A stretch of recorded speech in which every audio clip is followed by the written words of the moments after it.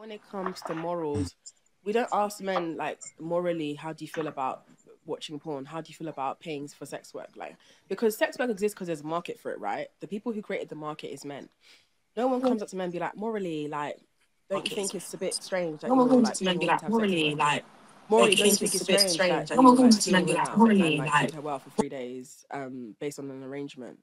Like morally, don't you think that's weird that like you um bought a woman a picture of a woman's tits for five hundred pounds? Morally, morally, morally. Like I feel like morals are something that are imposed on women to keep us in line, but I don't see being men being held to a moral standard. But then you don't feel that me- men and women are equal, right?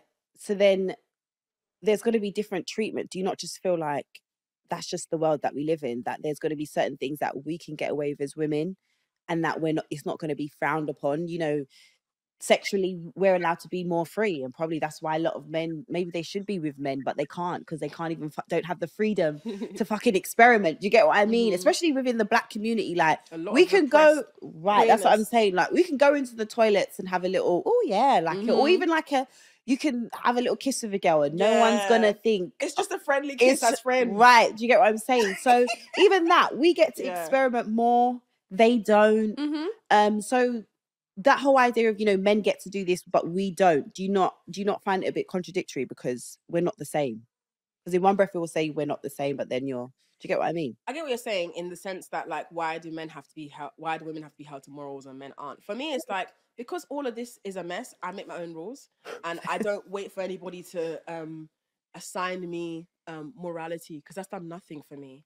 For me it's about do I feel happy? Do I feel proud of myself? Mhm. Um do I feel resolved in my decision? okay, fair. Because as a woman there's always going to be something that you will do that will be considered immoral. Yes. Even me have to be and the thing is, sorry to interrupt, literally, I could be talking about giving head. When I used to talk about the basics of giving head Wow, online, people would be like, uh, why are you talking? I'm like, I'm not even giving a demonstration. I just said I enjoy giving head. I haven't got a cucumber out or anything like giving head, you know what I mean? you. And I'll be getting ri- Ugh, Do you think your husband wants to hear you talk about this? And so I get Oh. it. There's there's so many different levels of that's what I mean of morals. Mm. Because what someone look at me and what I talk and be like disgusting, and you then not want to see a someone man get told, "Do you think your future wife's gonna like hearing you Every- talk about how much you like eating pussy on Twitter?" Right, we're gonna be like green flag, green flag. If he was saying that, we'll be like yes. Barry, But you also trying. to- Values. The- This, None. this is a clear example of the values. There was so much going on in there, bro. I don't even know what to even to comment on. You know what I mean? Like it looked like it, it was trashy to me. You know what I mean? And it's a big difference. The reason why it's different for men and women is because a man actually has to do work in order to get sex from a woman. A woman, that is your value. You're born with it. You don't have to do much in order to get sex from a man, but say okay. That's why men have to sometimes buy it because they can't just go out and readily get it if they want. Whereas a male prostitute, if if you uh if you a gigolo, bro, you're not getting paid like a woman is. Plain and simple. The value is just not the same. That's that. Right, Shan.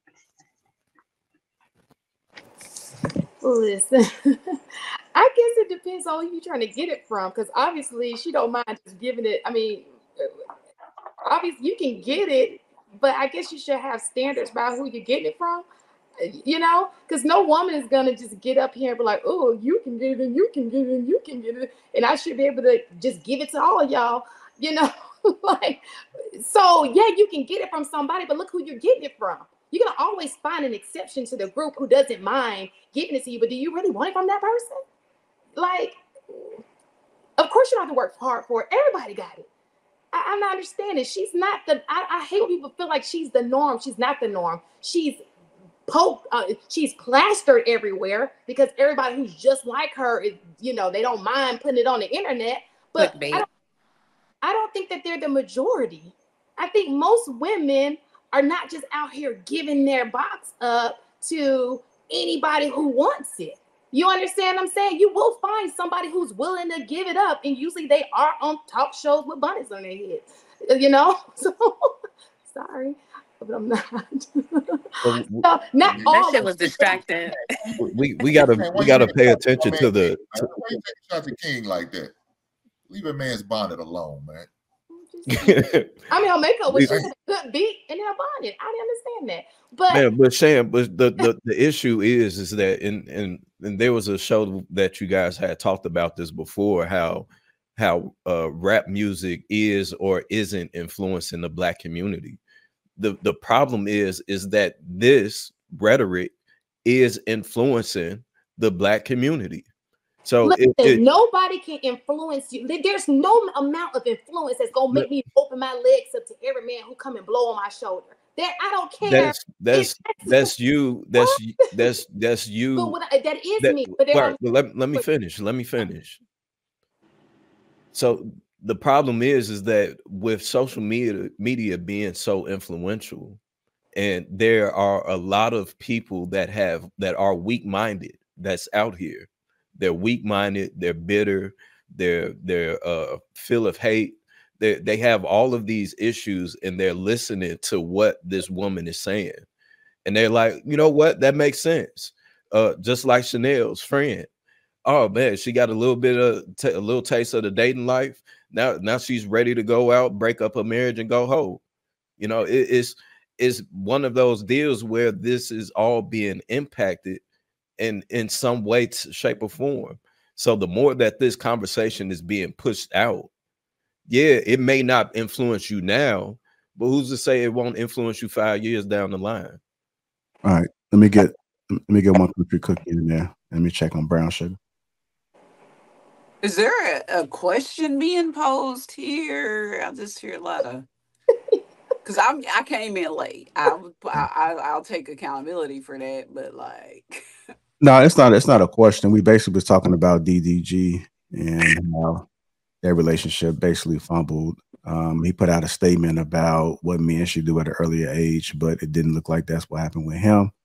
And then it transitioned from talking about morals and who needs to be accountable when it comes to opening their legs or planting their seed. And then I just played this clip that Oh, you see right now. So okay. it's adding all in together.